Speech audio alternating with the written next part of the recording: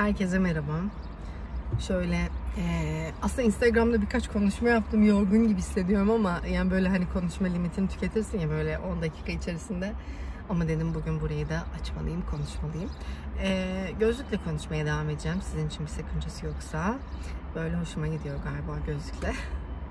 Bu gözlükle gerçekten yakışmayan kimse görmedim. Arada e, Instagram'da linkini veriyorum. Eee, şey yani düşünenler varsa oraya bakabilir. E, 50 ekartman diye geçiyor. Benim yüzüm küçük bir yüz. Yani bu tarz model zaten Ray-Ban'ın e, Wayfarer diye mi okunuyor tam da bilmiyorum okunuşunu. Onun klasik modeli. E, neyse reklama girdik. İyi mi? Ya gözlüğü işte laf lafa açıyor burada. Kesme de yapmadığım için böyle gidiyor. Arkadaşımla da konuşurken böyle olur ya. E, neyse detaylar orada. Burada ona girmiyorduk. Şimdi arkadaşlar e, size şöyle bir şeyden bahsedeceğim. Dün eşimi fizik tedaviye götürdüm. Hastanede onu bekliyorum o sırada. E, yanımda bir aile vardı. Böyle sülale gibi aslında. İşte anne anne var, babaanne var, işte dede var, e, amcalar var gibi kalabalık bir aile düşünün. Bir tane de küçük bir çocuk var. Allah şeyi kapatırken düşecek gibi oldu. Bir tane küçük bir çocuk var. Çocuk böyle mızmızlanıyor, ağlıyor gibi bir havada. Böyle büyükler de destek olmaya çalışıyor ama kimse susturamıyor. Daha da böyle yükseliyor gibi. Anne de o anda anne olduğunu tahmin ediyorum. Ee, anne de o anda hemen şey diyor. Bir dakika. Bir saniye. Bana bırakın gibi. Ya diyor "ee, ben de diyor şu an diyor kocaman bir havuzda yüzmek istiyorum diyor ama kocaman olsun gibi. Ondan sonra ve diyor kaydıra çok dönsün falan böyle başladı anne. Çocuk tabii ki durduğu bir anda ağlama işte o mızmızlama tamam tamamen bir ağla- ağlama yoktu 4-5 yaşlarındaydı. Tamam durdu ve annesine eşlik etmeye başladı. Ben de böyle bir şey olsun isterim. O hayalin içine dahil oldu. Tabii ki devamlı artık çocuk götürüyor. Anne de böyle ufak sorular soruyor. Çocuk şöyle olsun, böyle olsun, şu olsun diye devam ettirdi. Bakın bu benim bildiğim bir şey. Ama ee, ilk defa birinde de görüyorum canlı canlı. Normalde kitap üzerinde okuduğum ve uygulamaya çalıştığım bir yöntemdi. Ama e, Instagram'da da bahsettim. Yani kriz anlarında bu senin ör- kitaptan öğrendiğin bir şey olduğu için kriz anlarında aklına gelmiyor çoğu zaman yani. Çok pratik etmen gerekiyor gelmesi için. Ya da böyle bazı şeyleri yazacaksın sağa sola. Diyeceksin ki şu şunlar benim işte üç tane yöntemim olacak. Uyguladıkça uyguladıkça oturacak. Aslında benim böyle şeyler yapmam gerekiyor. Çünkü bir değil üç çocuk var. Yani zaman bir, bir tanesinde bazen şimdi yanlış da anlaşılmak istemiyorum hızlı geçebiliyor. Duru nasıl dört oldu anlamadım. Ama ikizlerde aynı süreci tekrar yaşıyorsun. Tekrar bazı şeyler tetikleniyor, hatırlıyorsun falan filan. Ee, o yüzden yani benim bir öğrendiğim bilginin üç fayda sağlayacağım gibi bir şey olacak aslında. O yüzden bu konuya daha çok eğilmem gerekiyor çocuklarla ilgili iletişim falan. Bir ara böyle oturmuştum, çalışmıştım, okumuştum, etmiştim. Hatta bir yerde şöyle bir şey duymuştum. Böyle anneler, babalar işte çocukları ilk doğduğunda babalar genelde maalesef yok. Öyle bir şey yok gerçi. Anneler eee, çocukları doğduktan sonra ve öncesinde çok fazla şey okurlar ama ondan sonra işte 3 yaşından sonra hiçbir şey okumamaya başlarlar. Halbuki esas olay ergenlik yani esas demeyeyim de orası da çok önemli. Tabii ki 0-3 yaş inanılmaz önemli bir e, gelişim anlamında önemli önemli bir dönem. Ama e, ergenlik dönemi içinde bir şeyler okuyabiliriz. Sanki ondan sonra bırakıyoruz. Bir daha okuma okuma yok. Doğru mu? Doğru. Doğrusu katılacaksınız eminim. Ee, o olay da dediğim gibi yani hani bize öyle davranılmadığı için e, ve çok şahit olmadığın için çevrende de bakın o örnek benim aklımda inanılmaz kalıcı kaldı. Yani o bilgiyi iyice oturttu yerine. Belki biraz havadaydı o bilgi. Dediğim gibi hani kriz anlarında çok kullanabildiğim bir şey değildi belki. Sesimi yükselteyim. ya bazıları sessiz diyor ama genel anlamda denmediği için diyorum ki ya ben de kendim de hani dinliyorum diyorum. Aa, o kadar yani gayet iyi aslında. Ama yine de daha sesli konuşacağım. Ee, yanlış anlaşılmasın bu şey anlamında değil, sistem anlamında değil. Ee, buna işte böyle yani hayal gücü olayını bu kriz anlarını çözmede yani gerçekten kriz anları bazen çok yıpratıcı olabiliyor ve şöyle yıpratıcılığı var. O sorunu çözmeye geçin, o an o çocuğa yardımcı olmaya geçin daha çok üzerine kızıyoruz, öfkeleniyoruz. Sonra biz de bir, bin pişman oluyoruz. Biz de çok üzgün hissediyoruz. Onda bir şeyler yaratmış oluyoruz falan derken iş iyice oluyor. Anladınız siz. Ee, o yüzden bunu kullanın. Dediğim gibi benim şahit olmam belki o günkü şansımdı. Ee, çok daha bilgi benim için şu an kalıcı oldu. Yani o an bir şey uydurun. Ya şöyle bir araba olsa o çocuğun belki o an sevdiğini mesela belki o çocuk yüzmeyi çok seviyordu o yüzden onu söyledi. Ya da kendi o konuda çok daha bir şeyler güzel uydurabileceği için söyledi bilemiyorum. Ben de bunu uygulayacağım. Onun dışında bir şeyden daha bahsedecektim ya. Şu an 5 dakika konuşmuşum. 5 dakika çok az olur ama yine de kabul edersiniz biliyorum. Ee, onun dışında kahvemi içeyim ne diyecektim? Neyse kahvemi içerken aklıma şey geldi. Ee, çok kahveyle beraber artık e, şey tüketmiyorum. Yani çikolata hiç yemiyorum anlamında değil. Ama benim için şöyle bir şeydi. Çikolatayı alıyordum, kahveyi içiyordum. Benim annemler, biz Vanlıyız. Annemler de inanılmaz çay tüketir e, ailem. Ama biz mesela kardeşler olarak hiçbirimiz öyle değiliz. Nedeni bilmiyorum. Zaten kardeşler olarak hiçbirimiz, altı kardeşiz, iştahlı değildik açıkçası. Ee, annemler de böyle hep şekerli, bir yanında bir lokum, bir işte zaten kıtlama şeker vardır Van'da. Böyle ağzında o çay bitene kadar zaten neredeyse erimez. Normal şekerlerden farklıdır. Biz ben ikinci sınıftayken Antep'e taşınmıştık. Orada mesela o normal şekerleri görmüştüm. Ağza atıyorsun hemen eriyor. Ee, küp şeker. Van'da kıtlama şekeri var. Neyse. Yani benim şey oldu böyle. Annemler işte sürekli e, tatlı bir şey olmadan çaylarını içemiyorlar. Ama ben hani artık çayı kesinlikle şekerli içemiyorum. Yani böyle tadı gerçekten hoşuma gitmiyor. Ya da mesela e, Türk kahvesi. Onun da şekerli olduğu zaman resmen içemiyorum. Yani o derece sevmiyorum. Bu kadar çikolata seven biri. Benim de böyle şeylerim var. Mesela eşim tatlı sever. Şekerli şeyleri sever ve her türlüsünü yer. Ben ama mesela işte bunun çikolatası çok iyi değil falan diye böyle yemem. Lokum çok yemem falan. Neyse. Ee, böyle olunca yani böyle aklıma o gelince annemlerin sürekli işte e, şekerli bir şeyle çay içmesi kahveyi de öyle tükettiğimi fark ettim. Yani dedim ki ben aynısıyım şu an. Ve bunu fark etmem nedense belki onların o şekilde o davranışını zaten içimden bir yerde böyle hani işte güya sağlıklı yaşamaya çalışıyoruz ya. Ama çikolataları da tatlıları da gömüyoruz tabii ki. E, herkes yiyor yani bir miktar tatlı yani hayatında. E, tamamen çıkarma diye bir şey.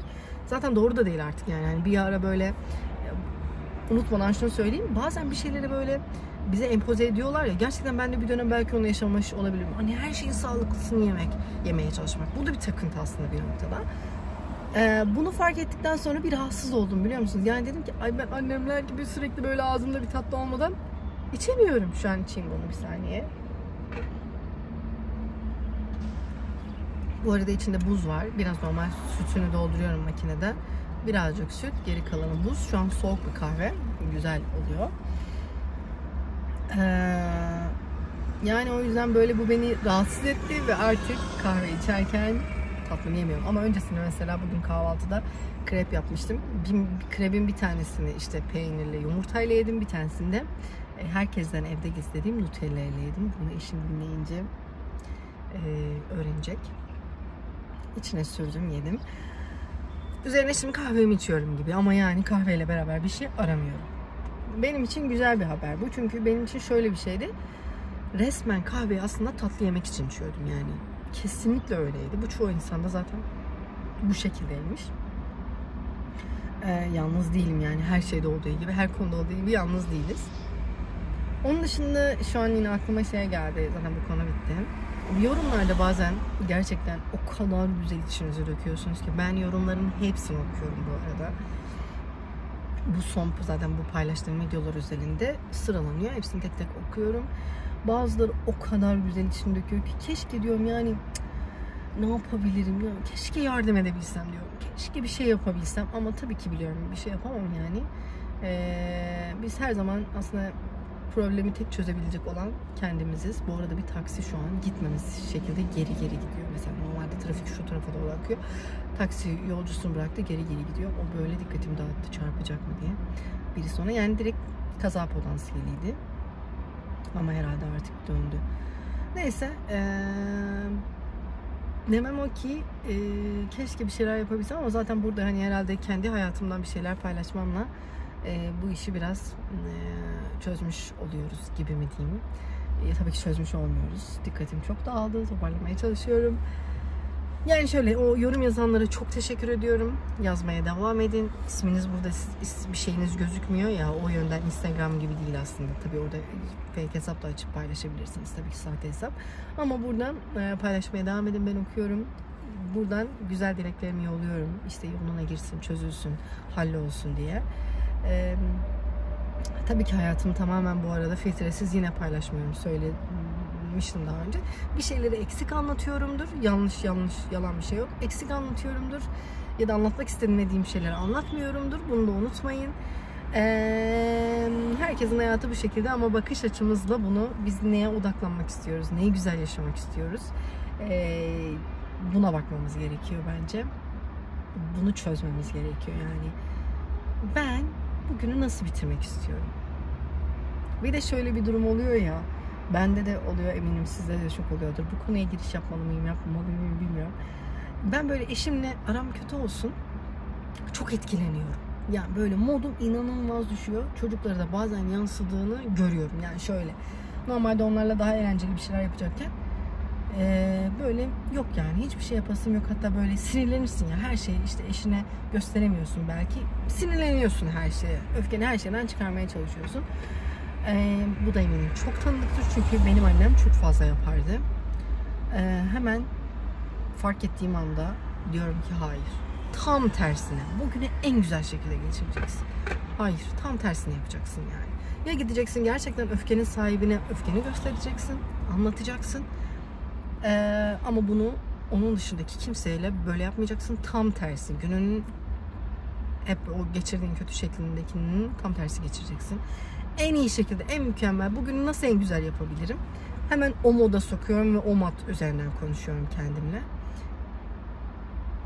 Öyle sizinle de bunu da paylaşmış olayım. Kendinize çok iyi bakın. Bir diğer sohbet videomuzda görüşmek üzere. 11 dakika olmuş. Böyle kısa daha çok seviyorum ben. 20 dakika olunca belki uzun geliyor olabilir diye düşünüyorum. Siz ne düşünüyorsunuz? Nasıl devam edelim? Ne konuşalım? Yazın bana. Dediğim gibi yorumlarınızı okuyorum. Bir yerlerde o böyle arka planda duruyor ve onun üzerine belki düşünüyorum gün içerisinde ve bir şeyler biriktiriyorum. Burada da sonra paylaşmaya başlıyorum. Kendinize çok iyi bakın. Umarım kolay bir gün olur. Umarım hayata güzel bakmaya çalıştığınız bir fotoğraf mı çekiyormuşsunuz Ece'yi dinleyenler varsa çok hitap etmeyebilir size ama birkaç böyle biraz daha dinlemeye devam ediyorum. Biraz bilimsel oluyor. Biraz böyle e, muhtemelen kitap üzerinden konuşmaya ve paylaşmaya çalıştığı için, bilgi vermeye çalıştığı için bazı noktalarda samimi de gelmiyor. Aslında inanılmaz samimi biri. Yüzde yüz eminim. Bakın kendimden belki o kadar emin olamam ama kızım bana verdiği enerji o ama Hani samimi olduğunu biliyorum ama videodan o çok e, podcastlerden o çok geçmiyor. Böyle bazen sıkıcı da gelebiliyor. e, orada ama şey diyordu bir fotoğraf çekerken bazen fotoğraf böyle odaklar ya bir şeye daha çok etraf böyle daha bulanıklaşır. Siz de o gün neye odaklanmak istiyorsunuz? Geri kalan neyi böyle bulanık yapmak istiyorsunuz? Buna karar vermemiz gerekiyor. Bu arada şöyle bir şey düşünüyorum. Ya 11 dakikaydı şu an 13 dakika oldu. Ee, şöyle bir şey yapmayı düşünüyorum. Ee, şimdi This Is Us dizisini izliyorum. Az kaldı bitmek üzere. O bit şu an hayatımda böyle güzel bir yer kaplıyor. Kendime ayırdığım güzel bir zaman. Daha önce yoktur o.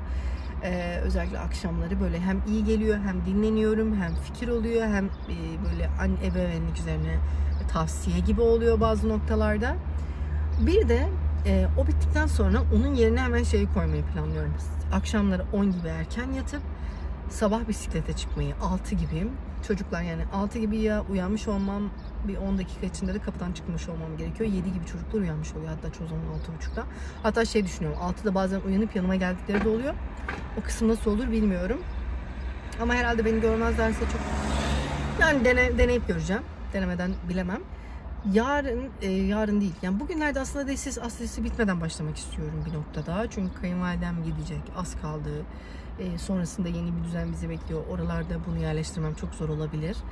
Hmm, ya bir hafta bir haftadır diyorum. Hani her gün sabah böyle 6 gibi kalksam hatta vloglamayı bile düşünüyorum. işte Instagram'dan büyük ihtimal paylaşırım. Motivasyon olur çünkü bazılarına. Bir gün bile yapsak kar. Yani ben şu an bir gün bile yapmış olmayı dilerdim şu zaman şu zamana kadar. Ee, sabahları 6 gibi erkenden çıkıp o 1 saat 45 dakika hem bisiklet sürüp hem arka planda bir podcast dinlediğimi hayal edemiyorum. Aslında inanılmaz inanılmaz iyi gelecek bir şey ama ee, yapmak kolay değil tabii ki bu tarz şeyleri ama planımda var. Uygulayıp çekersem sizinle paylaşırım. Bir hafta bile yapsam çok büyük bir kar benim için dediğim gibi ama eminim e, ya şey inşallah bir ay falan yaparım. Artık videoyu burada bitiriyorum. Kendinize çok iyi bakın.